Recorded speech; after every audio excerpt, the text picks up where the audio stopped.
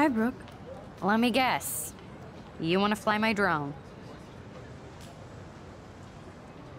I'd love to. I love planes and balloons and... This is neither. Do you know what a drone really is? A weapon, right? Uh, you read too many conspiracy sites. This might be too complicated for you. Funny. Warren said you were smart. Please, step back.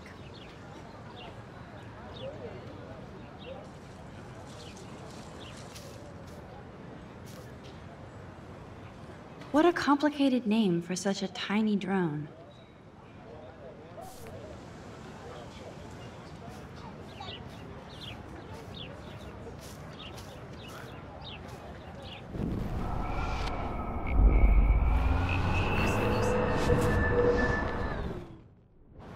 Hi, Brooke.